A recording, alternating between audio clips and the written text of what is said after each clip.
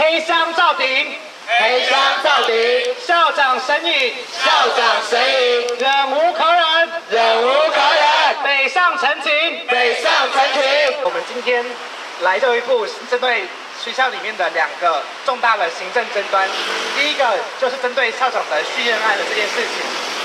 呃，学校在六月五号收到教育部的评鉴，呃续任评鉴之后。在六月十二号，还紧急的发通知给全校的师生代表，用 email 的方式，在将将近下班的时间，然后宣布说，隔天的校务会议将进行校长续任的遴选。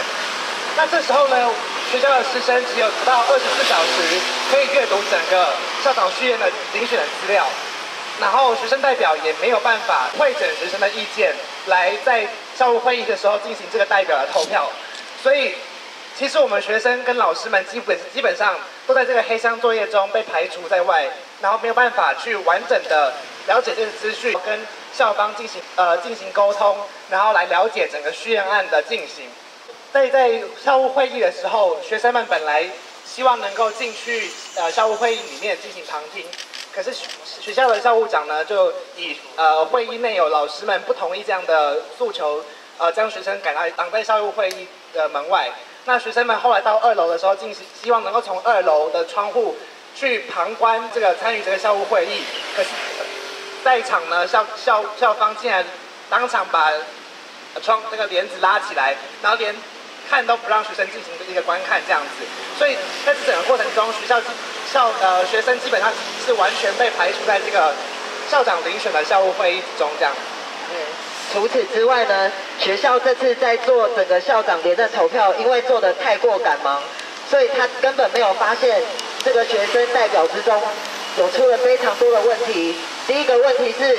我们的学生代表总共参与投票的就只有十一个，我们全整个学校总共就五个系所的学生，因为学校太赶着投票，被排除在这个资格之外，因为他们太赶了，所以他们根本没有心要去做任何的调整。再来就是学校这边，他们也没有去查这些代表的名单。其实我们的学生代表里面还有一个已经休学了，那这个休学的状况就造成了他们代表数已经违法，因为这个违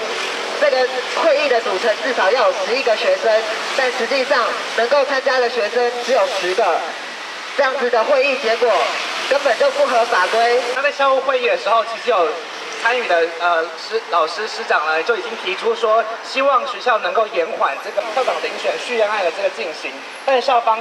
完全不听这个这方面的沟通的呃意见，然后进行沟通，就强行的仓促的进行这个投票，然后强行的通过这个校长续任案。那我今天以一个校务会议代表的这个身份哦，在这边发言哦，因为那一天的呃搁置动议是我提出来的，虽然说没有成功，这个校长。他直接任命副校长担任这个校务会议的这个重大议案的主席呢，就是校长连任案。啊，这个在程序上面是可以讨论了，是有问题的哦。因为副校长由这个要连任的校长直接任命担担任会议主席，好，这是第一点。第二点是说，这位主席呢，他在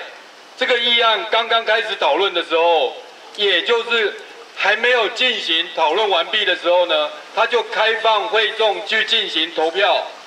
好，接下来是我们提出这个搁置动议，没有通过之后呢，继续在讨论当中，这个校长他的十分钟的影像的报告，报告他之前的校务的这个工作，未来的愿景呢，这个十分钟以上也没有报告完，后面的讨论也还没进行的时候。这个主席呢，他也开放所有的这个校务会议代表可以这时候投票。那接下来在六月十八号的时候，学校在下班时间以电子邮件的方式通知呃印象学院的代理院长以及总务长，在隔天就立刻呃解除这个免呃兼任的行政职。代理院长以及总务长他们就是在当天校务会议现场投票支持要让这个议程延期的两位。那在九月十九号之后，我们在音像学院就召召开了师生的说明会，针对从校长校长续任案到代理院长的呃免除行政职的这两个案件。跟呃整个印象学院的师生进行一个说明。那接下来我们也进行到到了行政会议，希望能跟跟校方进行沟通。不过秘书室就一不断的以各种理由来阻挡我们跟校方的直接的进行沟通，并且我们在在隔天就与呃校长进行了一个希望能够进行一个公开的会谈。那校长这边也找找找尽了各种理由来爽约。那后来我们用各种方式持续的在跟校方进行，希望能够以一种公开、透明、及时的方式进行一个全校师生的一个呃座谈会。但是校长呢，仍仍就是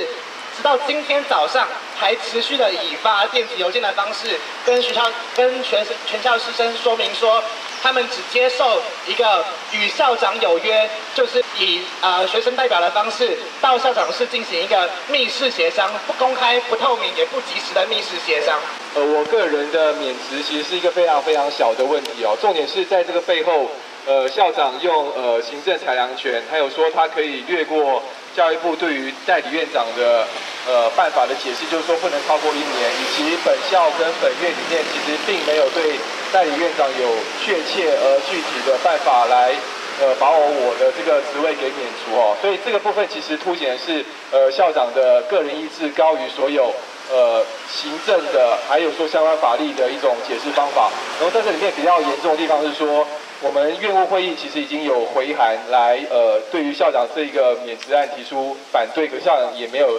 呃正面的回应。然后另外呢，我自己也在这几过去几天也发了一个。呃，具体的说明文哦，然后一一辩辩驳说，呃，校长呃透过人事室的法律上解释，其实都是于法无据，根本站不住脚的哦。所以在这里面，其实人事室也是作为校长在这次的免监案里面的一种呃法律的解释，先射箭再画靶，没有任何没有办法提出任何有效率而且具有法律依据的做法哈。所以呃种种迹象显示就。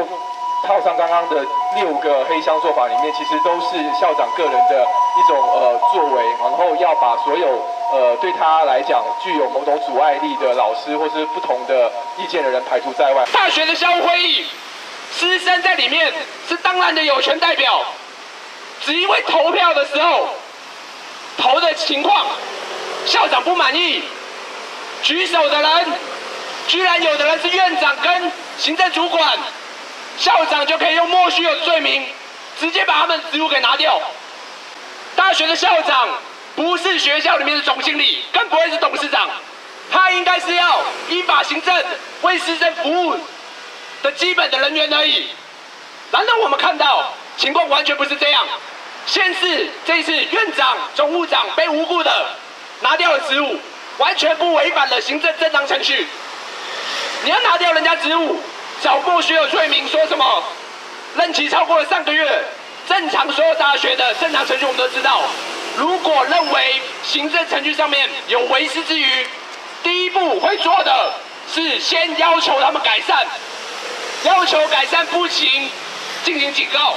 最后才有可能是采取必要的手段来拿掉人家职务。就是要这么做，也不会是校长个人片面的意志。而应该是要由院要由里面的委员来发动。那教育部后续啊会针对啊刚澄清的，包括说校长续任的程序以及这个代理院长解职的问题，在相关呃这些疑义啊，我们部里面会要求学校啊尽速来逐一厘清跟说明。那也会请这个校长啊尽快来跟这个学生进行沟通跟说明。那在还没。